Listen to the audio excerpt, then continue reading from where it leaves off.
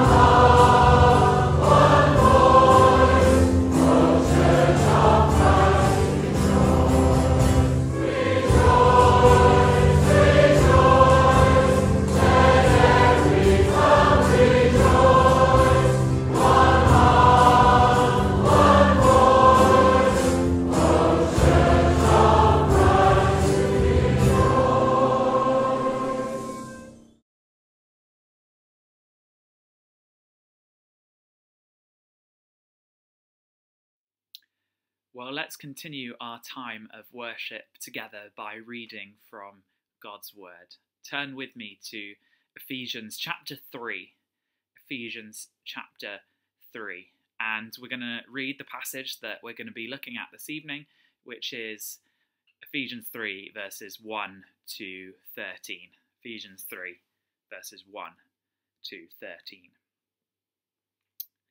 For this reason, I, Paul, a prisoner of Christ Jesus on behalf of you Gentiles, assuming that you have heard of the stewardship of God's grace that was given to me for you, how the mystery was made known to me by revelation, as I have written briefly. When you read this, you can perceive my insight into the mystery of Christ, which was not made known to the sons of men in other generations, as it has now been revealed to his holy apostles and prophets by the Spirit. This mystery is that the Gentiles are fellow heirs, members of the same body, and partakers of the promise in Christ Jesus through the gospel. Of this gospel I was made a minister according to the gift of God's grace which was given me by the working of his power. To me, though I am the very least of all the saints, this grace was given to preach to the Gentiles the unsearchable riches of Christ, and to bring to light for everyone what is the plan of the mystery hidden for ages in God who created all things, so that through the church the manifold wisdom of God might now be made known to the rulers and authorities in the heavenly places. This was according to the eternal purpose that he has realized in Christ Jesus our Lord, in whom we have boldness and access with confidence through our faith in him. So I ask you not to lose heart over what I am suffering for you, which is your glory. Well, again, as we continue our worship together, let's come before God in prayer. Let's pray together now. Heavenly Father, we thank you so much for this time together that we have this evening. We thank you that we're now back and able to meet together on your day, the Lord's Day, on Sunday mornings. And we thank you that um, even though it's difficult at this time, we're still able to have these services online together where we're able to um, uh, gather, although we're apart physically, we're still able to come together as one body in our houses, wherever we are and come before you in worship and in prayer and in your word. And we thank you for that. And we pray that this very evening you would be pleased to meet with us as we come before you. You would be pleased to work in us. Father, would you um, rebuke us and raise us up? Would you um, convict us and comfort us in the places that we need? You know Father, what we need, and would you provide for all our needs this evening as you work within us? Father, we pray this evening, would we see Jesus? We pray, we believe, help our unbelief. And Father, as we come before you in prayer, we think of uh, those amongst our church family who are um, suffering and struggling at the moment. We pray for all who are unwell and who are going through times of affliction at the moment. Father, would you give them a sense of your presence with them this evening? Would you minister your grace and love to them? And would you help the rest of us to know how to best care for those people, to um, express our, our love and your love for them, we pray. And for those who are unwell, Father, we pray, would you put your healing hand upon them and raise them up, we pray. And Father, as we come to your word in just a moment, would you again speak to us through your word? Would you meet with us through your word? Would you be transforming us by your Spirit through your word? Father, would you be working in us to present us faultless before your throne because of what Christ has done when the day of the Lord comes? Father, would you make us more effective witnesses for you here on earth? Would you prepare us more for eternity that we um, might be equipped to praise you now and for the rest of time? Father, we pray build us up in love for you, in love for one another, in love for the entire lost world. We pray. We pray this in Jesus' precious name and for his sake. Amen. Well, we're going to continue really in prayer as we sing our next song. Um, this next song is a prayer that God would speak to us as we come to his word. So let's pray and sing this song together.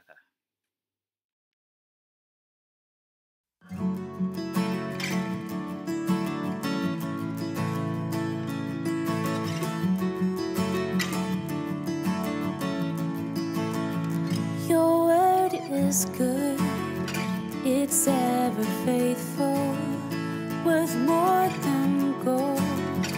The heart's dear.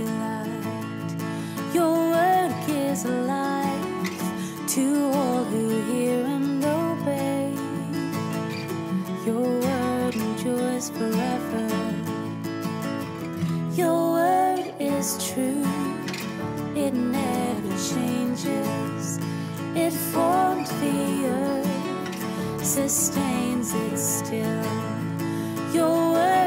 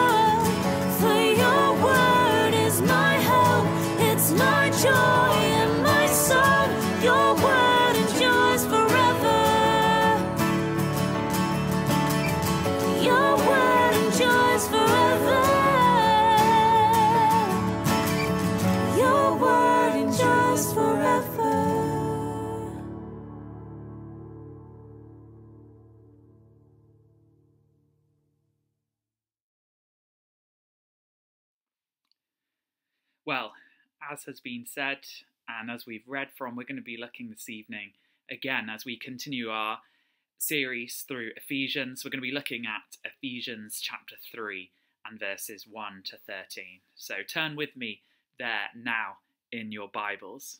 And as you turn there, I want to ask you a question. It's probably a bit of a big question for this time on a Sunday evening, especially when it's been so hot and sunny and you're feeling a bit tired. But bear with me, and here's the question to be thinking about What do you see as being your purpose in life? I told you it was a big question. What do you see as being your main purpose in life? Maybe it's being a parent, maybe it's being a grandparent, caring for your children and grandchildren. Maybe your main purpose is your job, that you see that as being the thing that takes up most of your time. That's your main reason for being here. Maybe you would say that your Christian faith is your main purpose in life. Maybe along with your commitment to church or your commitment to other causes and groups that you care about. Maybe as you watch this this evening, you're feeling a little bit lost in the world, not quite sure how you fit into the world anymore. Maybe you're feeling a little bit useless in the church and with your faith at this moment. Well, I asked that question about purpose because purpose is a big theme that Paul addresses in Ephesians. If you can remember back a few months as we started this series, purpose is something that Paul talks about in chapter 1, and you might have noticed that he mentions it again here in chapter 3. When Paul is talking about purposes here in this passage, he's talking about God in Christ's purpose for the world, for the church. But as we'll see, through faith in Christ, we become part of the church. And so God's dealings with the world, God's dealings with the church, his purpose for the church, for the world, really by extension is our own individual purpose as well. And so as we dig into this, we will get to see maybe something of what our purpose in life can be. So look with me at Ephesians chapter 3 and verse 1. Paul starts off by saying, For this reason, I, Paul, a prisoner of Christ Jesus, on your behalf, on behalf of you Gentiles. And then at that point, you might notice in your Bible, you might have a little dash there. And at this point, Paul gets distracted by that little opening sentence of our passage. And he gets distracted, really, explaining that sentence. He's explaining why he says, Paul, a prisoner of Christ Jesus, on behalf of you Gentiles. Paul realizes as he says that, that this is something that's going to take a little bit of explaining. Maybe you can imagine Paul in prison, a prisoner, and he's sat and he's probably dictating the letter to a scribe who will then uh, write it up nice and then take it off to be sent. And Paul, you can imagine him sat in the corner of his cell, reeling off this letter, and at this point he thinks, Oh, a prisoner on behalf of you Gentiles. What do I mean by that? That's a sentence that needs a little bit of explanation. Maybe you've seen those um, those clips from movies where the movie starts and um, you see the main character, and the main character is in a bit of a predicament, and there's a voiceover that says, "Yes, that's me," but you're probably wondering how I ended up here in this weird situation. And that's what is happening with Paul here. He's explaining in this passage how he's ended up in prison and why it is that he says that he's in prison on behalf of the Gentiles. He says, I'm in prison on your behalf. That's a sentence that could make them feel a bit uncomfortable. If you had a letter from someone and they said, Oh, I'm a prisoner on your behalf, that's a bit of a weird thing to say, isn't it? That's a sentence that needs some more explanation. Otherwise, you might worry about what you've done to land this person in prison on your behalf. So, Paul goes off on one to explain how he's ended up in prison on behalf of the Gentiles. And this passage that we've got, Ephesians 3 1 to 13, is that explanation of Paul, explaining why he's in prison on behalf of the Gentiles, and explaining ultimately, as we'll see in verse 13, why it's okay, why it is that the Gentiles in Ephesus don't need to worry, don't need to feel bad that Paul is in prison on their behalf. And we can dig in to this passage under three points, three headings that we'll see as we go. So look with me now, verse 2 to verse 6. Verse 2 to verse 6. Paul goes off on one, there's the dash, and he says, Assuming that you have heard of the stewardship of God's grace that was given to me for you, how the mystery was made known to me by revelation, as I have written briefly. When you read this, when you read this, you can perceive my insight into the mystery of Christ which was not made known to the sons of men in other generations, as it has now been revealed to his holy apostles and prophets by the Spirit. This mystery is that the Gentiles are fellow heirs, members of the same body, and partakers of the promise in Christ Jesus through the gospel.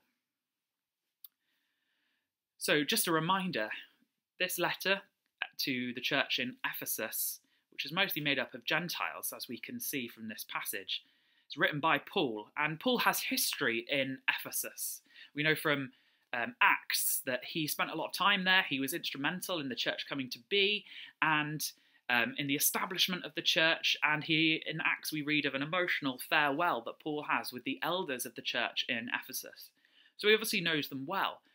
But we think by the time Ephesus, uh, by the time Ephesians was written, it had probably been about seven years since Paul had been in Ephesus. Now, I'm sure you can appreciate that in seven years, a lot can change. If someone had, um, if someone had left Cornerstone seven years ago, then there would be lots of people in the church now who wouldn't know who they were.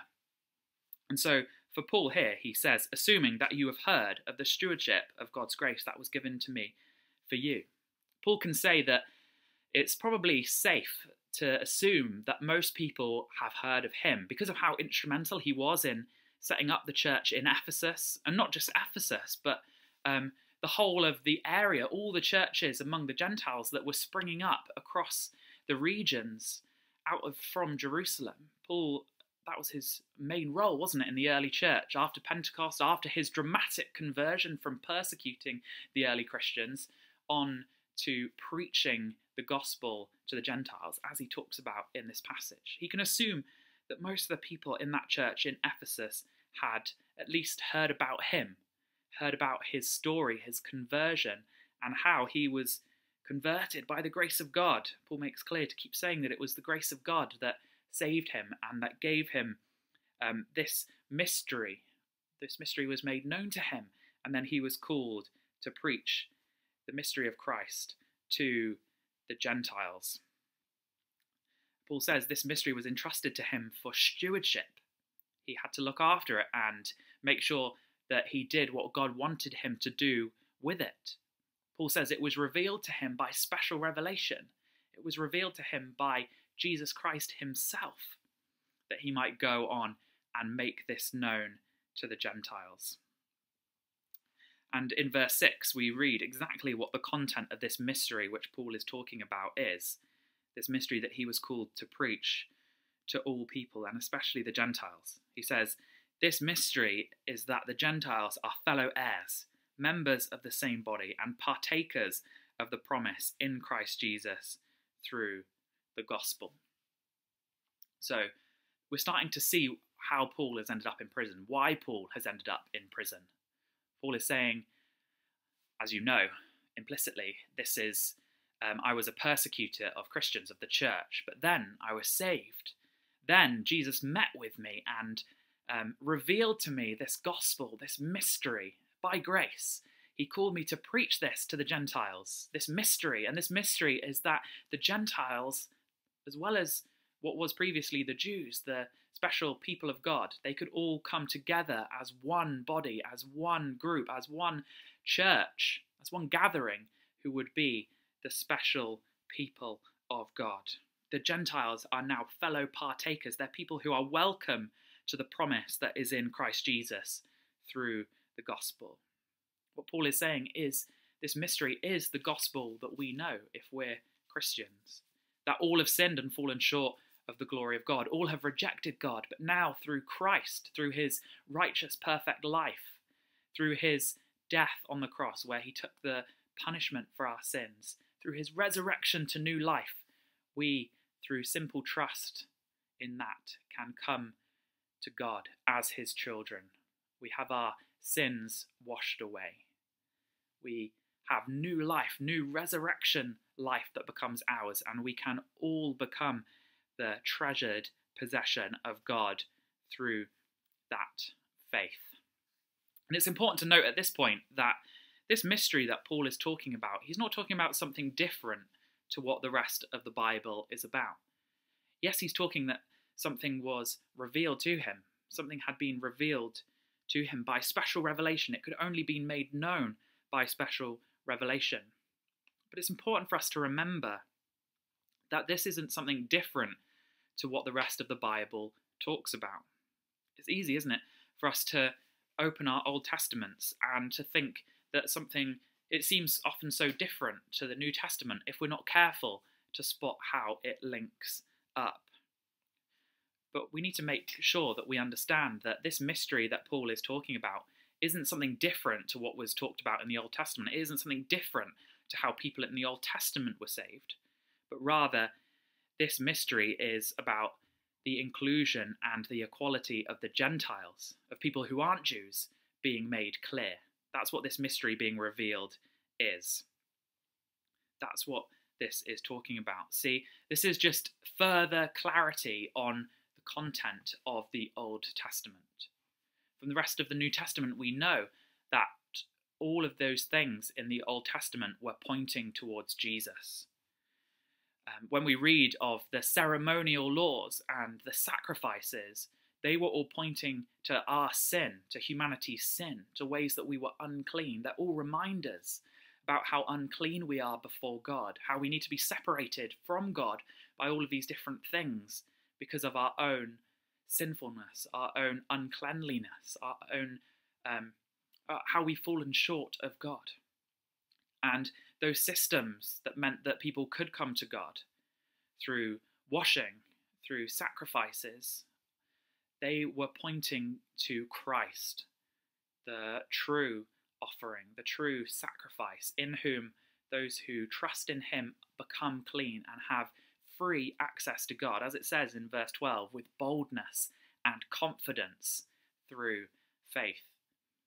The Old Testament was pointing towards Christ, it was preparing for Christ, showing us our need for Christ. And now, Paul is saying, this has been made clear. You see, in the New Testament, when Paul talks about mysteries, and it's something that he talks about quite frequently, what he's talking about is simply something that needed to be revealed by God. A mystery isn't something that's unknowable, but it's something that is unknowable unless God has revealed it. A mystery isn't something unknowable, but it's something that is only knowable because God has revealed it.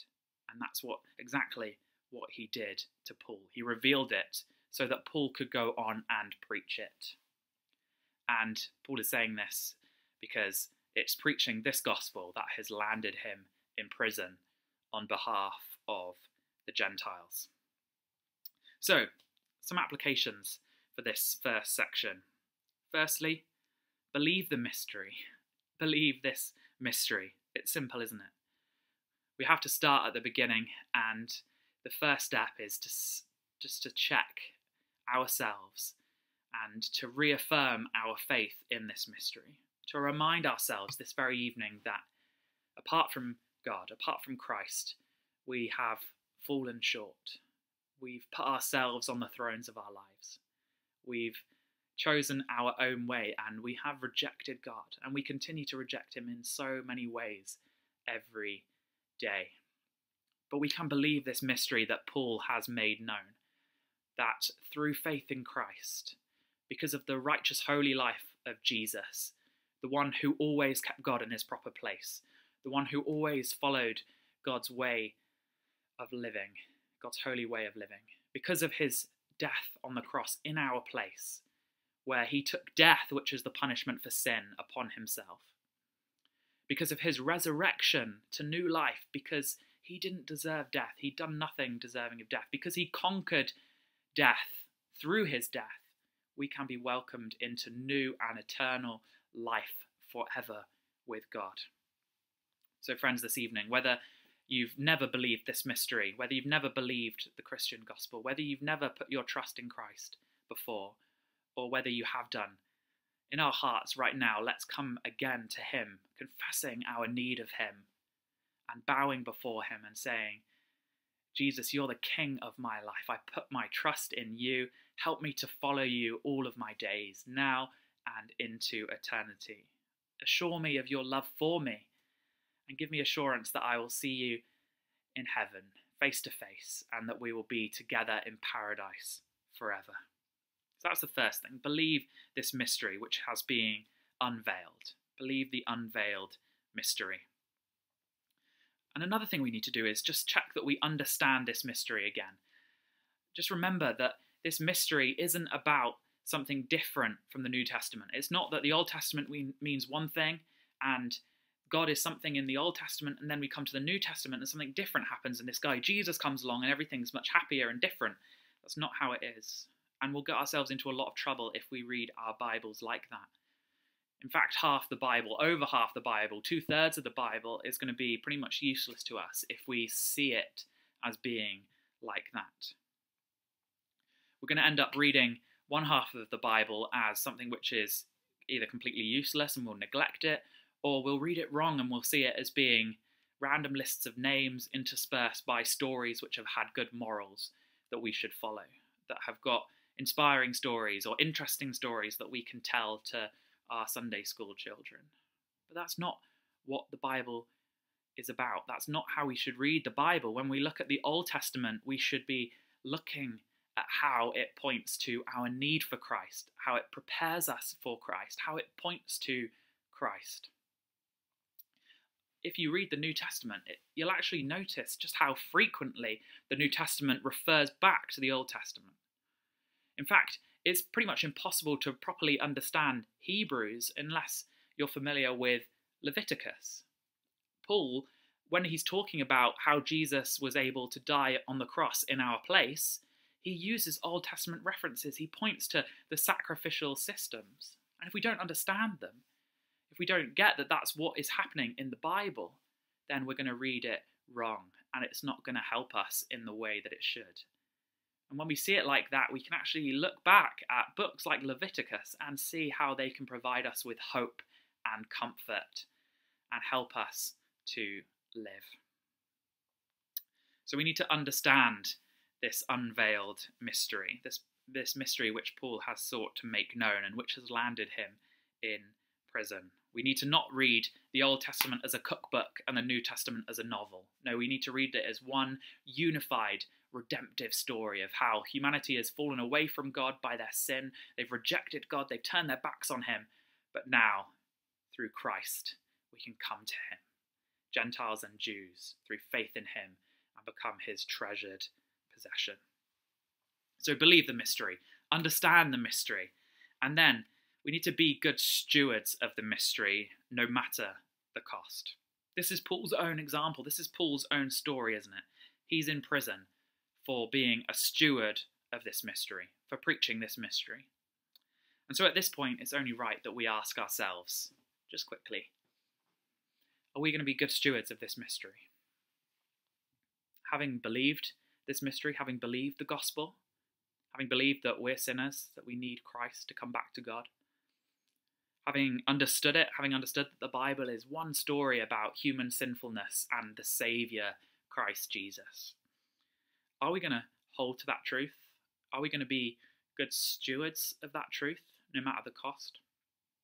Are we going to preach it to our friends and neighbours? And I don't mean standing on a soapbox and shouting. Are we going to live it out? Are we going to speak it when appropriate and when we have the opportunity? Are we going to look for opportunities to speak this to our friends and neighbours?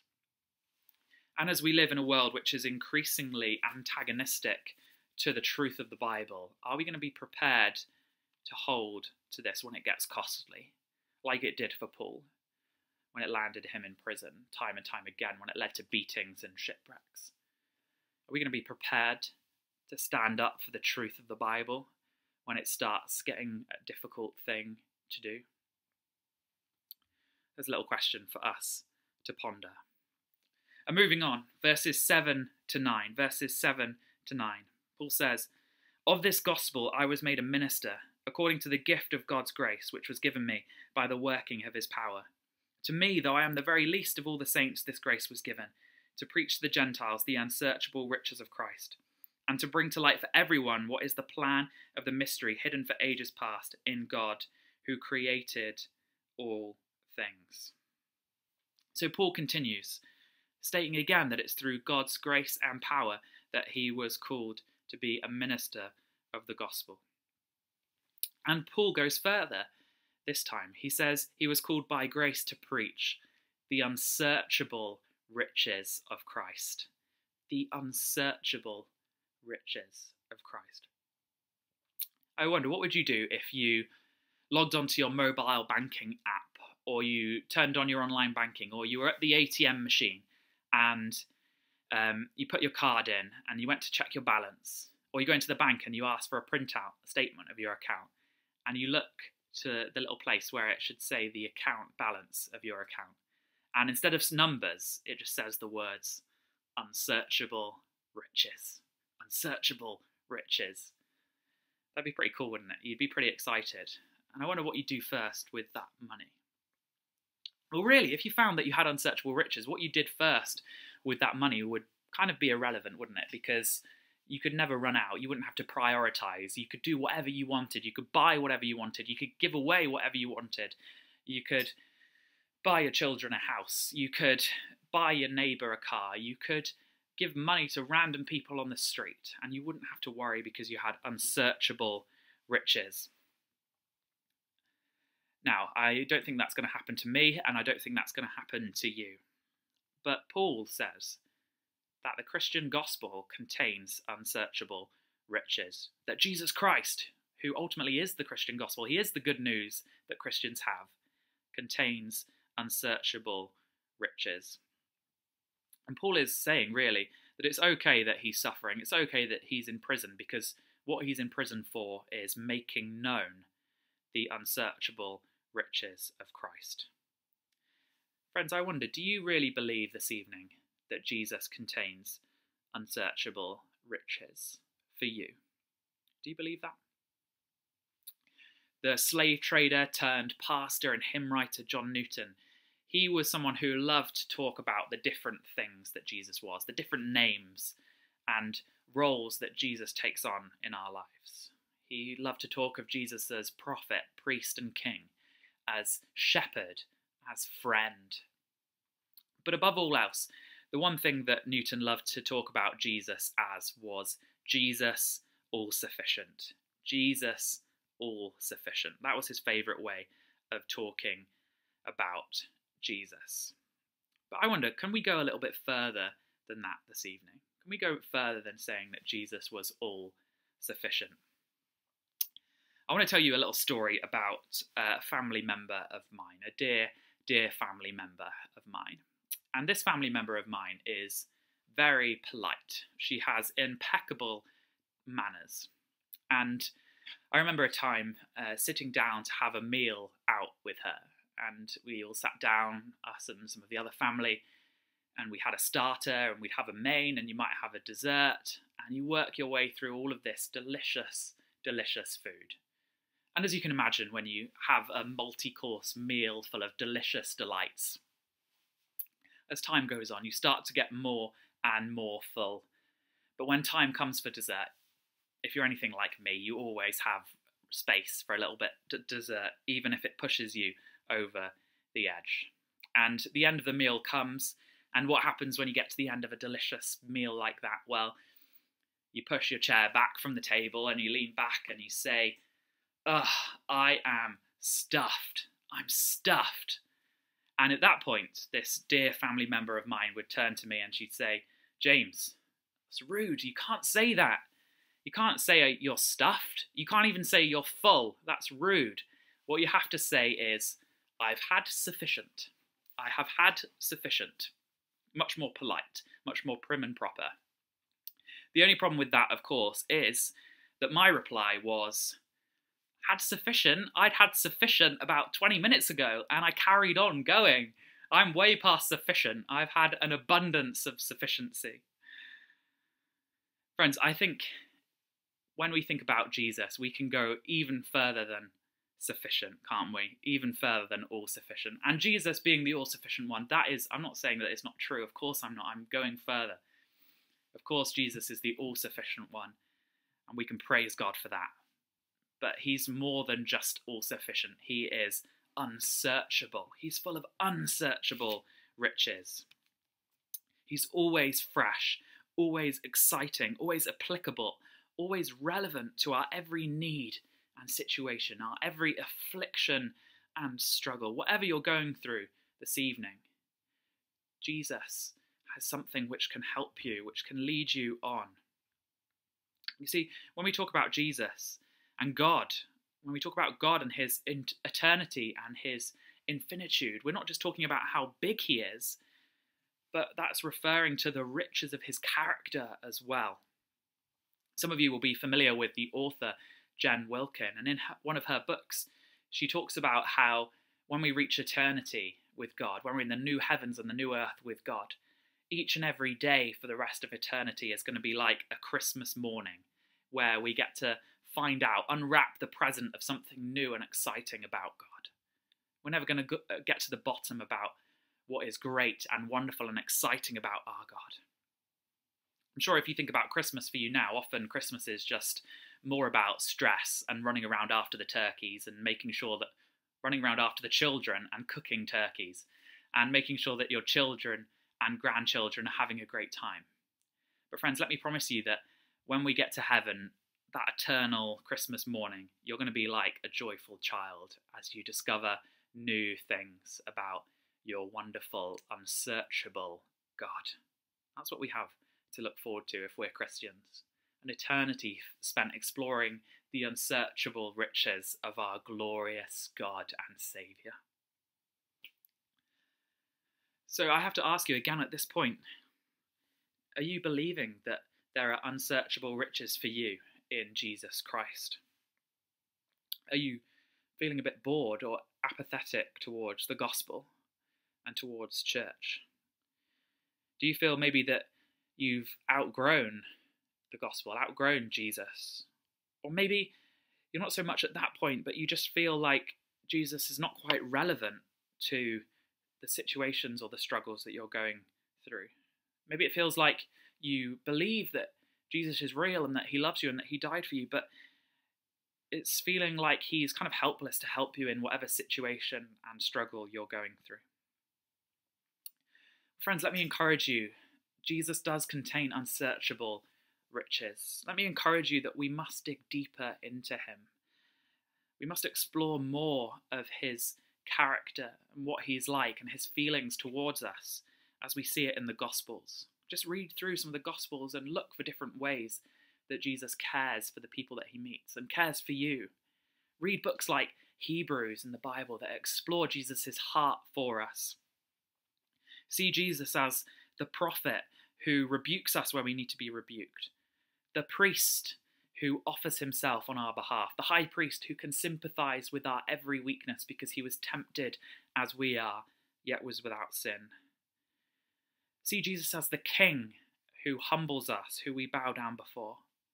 See Jesus as the good shepherd who sees us harassed and helpless, who sees us and walks us by still waters, who walks with us through the valley of the shadow of death who doesn't leave our side as we stare death in the face, as we walk with loved ones who are staring death in the face.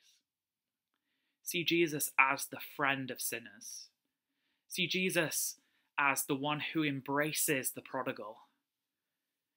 We need to see Jesus as all of these things. We need to see Jesus as the beautiful diamond that he is, that uh, whatever way you look at it, it is just beauty shining. And do we realize that we have these unsearchable riches to share? That we can care for those within the church who are suffering and struggling by pointing them back to the unsearchable riches of Christ? That we can share these unsearchable riches with those who are far off as well? We have unsearchable riches in Christ, as well as this unveiled mystery that we've been looking at. And thirdly and finally, verses 10 to 13. Paul says, so that through the church the manifold wisdom of God might now be made known to the rulers and authorities in the heavenly places. This was according to the eternal purpose that he has realized in Christ Jesus our Lord, in whom we have boldness and access with confidence through our faith in him. So I ask you not to lose heart over what I am suffering for you, which is your glory. Paul is suffering to make the unsearchable riches of Christ known and he's ultimately suffering, as we see here, to make known the ultimate purpose of God. He's making known to them the ultimate purpose of God. And part of that purpose is there in verses 10 and 11. So that through the church, the manifold wisdom of God might now be made known to the rulers and authorities in the heavenly places. This was according to the eternal purpose that he has realized in Christ Jesus our Lord.